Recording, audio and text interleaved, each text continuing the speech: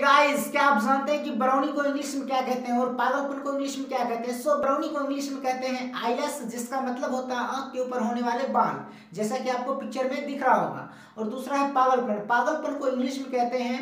ल्यूनाशी सो ऐसे कमाल के वर्ड को सीखने के लिए मेरे यूट्यूब चैनल को सब्सक्राइब करें और जाते जाते एक प्यारा सा लाइक देकर जाना